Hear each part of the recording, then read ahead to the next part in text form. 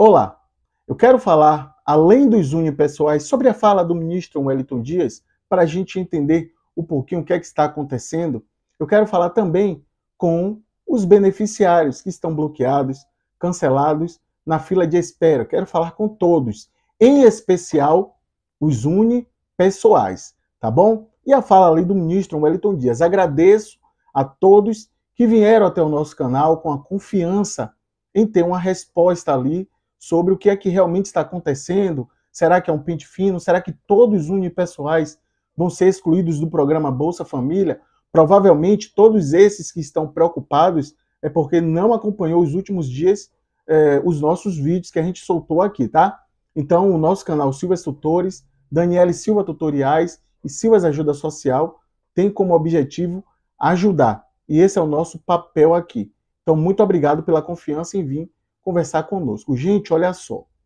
É, eu já tinha visto essa fala do ministro Wellington Dias a respeito dos unipessoais e falando que aqueles unipessoais que não têm direito, concluindo, né, que não têm direito a estar no programa Bolsa Família, vai sair, né?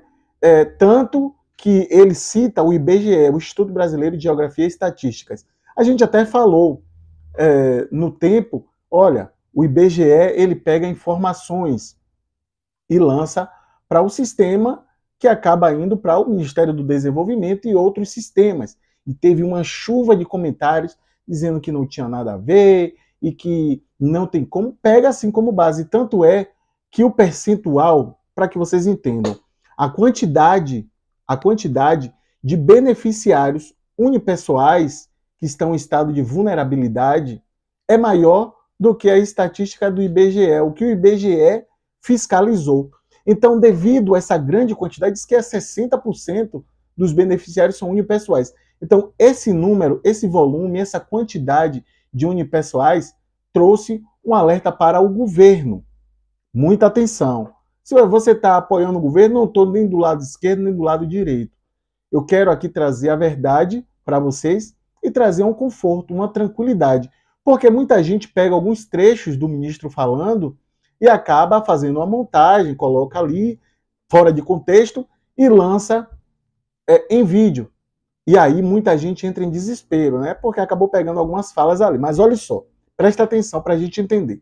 O que, é que está acontecendo realmente, não somente com o unipessoal, mas sim como todos os beneficiários. A gente trouxe a normativa, teve uma alteração para os unipessoais, e teve também uma atualização no cadastro único. Não é esse cadastro único que você abre aí, não. É o do CRAS, onde tem mais duas abas. Quando o entrevistador ele for lá na sua casa ou te chamar no CRAS para fazer ali uma atualização, existe mais duas abas no sistema dele, no cadastro único deles. Tem duas abas onde vai selecionar para facilitar a entrada, a análise dos unipessoais, ok?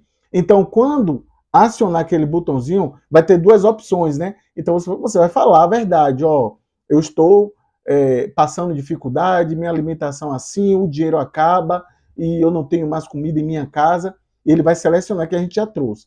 Vai, quando selecionar, imediatamente vai para o sistema é, do Ministério do Desenvolvimento. Lógico que se for visita, e o pessoal do CRAS demorar, aí já é um outro problema. Demorar de enviar, ele tem que fazer uma nova visita. Isso a gente volta depois para falar com vocês. Mas o que a gente quer trazer aqui agora? A fiscalização dos unipessoais, ela nunca parou, ela nunca acabou. Sempre esteve ativo. Mas o fato de ter uma nova operação agora em agosto para tirar todos os unipessoais não é verdade, tá? O que acontece é um, uma quantidade de unipessoais que tem no IBGE, falando que mora sozinho e que passa dificuldade, e outra quantidade de beneficiários, 60% dos beneficiários, que ele falou, 60% dos beneficiários estão é, como unipessoal. Então o número não bate, segundo ele, o número não bate. E o que vai acontecer? Uma fiscalização, como já está tendo, e o unipessoal ele só está recebendo o benefício porque não existe outro benefício, tá? para quem é unipessoal. Então, por isso que está recebendo. Tanto é que o nome é Bolsa Família, porque poderia ser Bolsa Unipessoal, mas não tem o Bolsa Unipessoal, não tem um benefício somente para uma pessoa. É por isso que os unipessoais estão no Bolsa Família. Ele quis dizer assim, ó, os unipessoais só tá no Bolsa Família porque pegou uma ponga. Vamos é, aqui falar a verdade. No outro governo facilitou muito a entrada, mas agora eles querem fazer uma fiscalização, que eles façam a fiscalização que eles quiserem.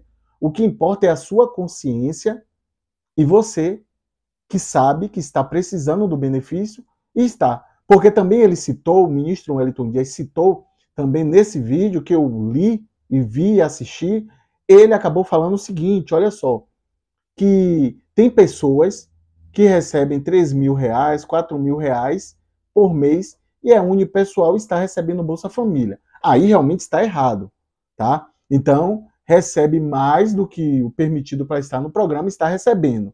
Mas, se o sistema do Bolsa Família provar que o que ele está falando é real, vai sair do programa. Se não conseguir provar, vai se manter no programa.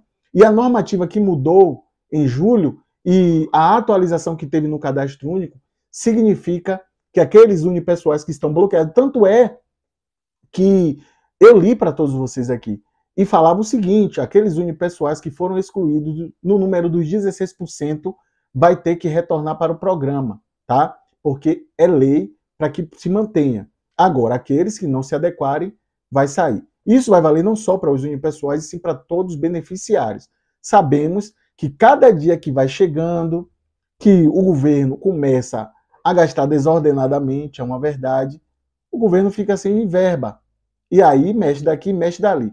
Mas o fato de sair porque é unipessoal, porque vai ter. Se você abrir o cadastro único e você perceber que você se adequa perfeitamente ao benefício, Fique tranquilo, você vai continuar, tá bom? E a fala do ministro a gente tem que entender direito. Muita gente traz aí o pânico, o terror. A gente, quando é para falar, a gente fala mesmo, tá? Então a gente não tem isso de passar panos frios nas coisas quentes. A gente fala. Então, assim, nesse caso, realmente não vai ter exclusão porque tem que excluir, tá?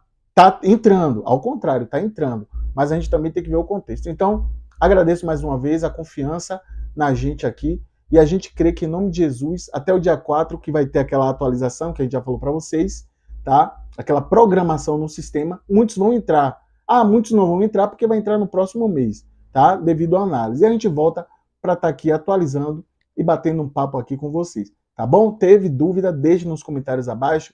Não esqueça de se inscrever nos nossos canais. E se você tiver dúvida, deixe nos comentários abaixo. Que Deus abençoe a sua vida com a infinita bondade dele, no nome de Jesus. Vamos para a corrente do bem. Fé, galera, fé, oração, para que esse sistema acabe te empurrando para dentro do programa novamente. Tá bom? Um forte abraço e até mais.